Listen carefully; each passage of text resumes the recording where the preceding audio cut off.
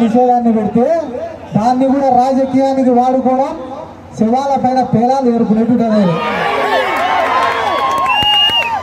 మీకన్నా నాకన్నా మనందరికన్నా తెలివైన వాళ్ళు విజ్ఞానవంతులు.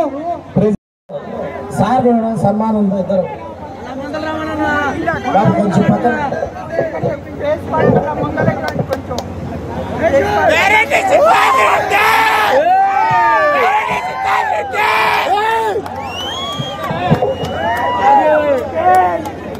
బాబు అందరి చేత ఫోటో దింపిద్దాం. కొద్దిగా ఎడగా ఉండండి రా అందరిని ప- పరిచయం చేసి చేద్దాము అందరు ఎగబడపాకుండా ప్లీజ్ లాగా ఉంది నేను నాకు కూడా కానీ పాల్గొన్నాను కదా ఈరోజు శ్రీరామరెడ్డి గారు చెప్పినట్టుగా పదిహేను సంవత్సరాల తర్వాత ప్రభ ఈ రోజు కడుతున్నారంటే నిజంగానే బ్రహ్మాండమైన ప్రభ. అన్నిటికన్నా ముఖ్యం వైఎస్ఆర్ కాంగ్రెస్ వైఎస్ఆర్ గారి ఫోటో అక్కడ పైన. ఆయన ఆశీస్సులతోనే మనందరం కూడా ఈ స్థాయికి వచ్చిన వాళ్ళ దాంట్లో ఎటువంటి సందేహం లేదు. పెద్ద ఆయన ఆశీస్సులతోనే మనందరం కూడా ఈ స్థాయిలో ఉన్నాం. అదేవిధంగా రాష్ట్రంలో మీ అందరికీ కూడా తెలుసు. ఏ విధంగా పరిపాలన సాగుతూ ఉందో. ఈ రాష్ట్ర ప్రజా సంక్షేమ పథకాలు పాలన జరుగుతోంది. ప్రజా సంక్షేమ పాలన జరుగుతోంది ఈరోజు రాష్ట్రంలో. ఈ దేశంలో ఏ రాష్ట్రంలో కూడా ప్రవేశపెట్టడానికి పథకాలు.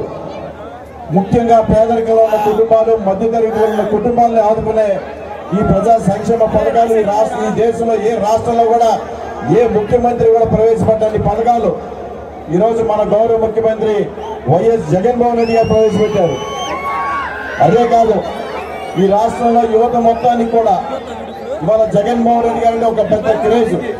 ఆయన చూపించిన బాట. ఈరోజు రాష్ట్రంలో దాదాపు నాలుగు లక్షల మంది పైగా ఉద్యోగ అవకాశాలు కల్పిస్తే కాదు.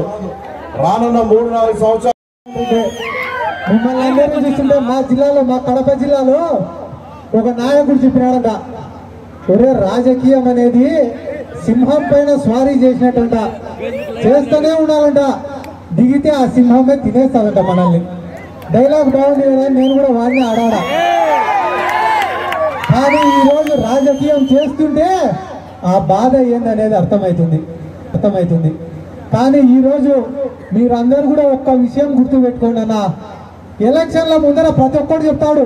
కులాన్ని పట్టించుకోం మతాన్ని పట్టించుకోం ప్రాంతాన్ని పట్టించుకోం పార్టీని పట్టించుకోమని కానీ ఎలక్షన్లు అయిపోయిన తర్వాత కూడా కులము మతము ప్రాంతము పార్టీ అనే తేడా లేకుండా ప్రతి ఒక్క పేదవాడికి సంక్షేమ పథకాలు అందిస్తున్న నాయకుడు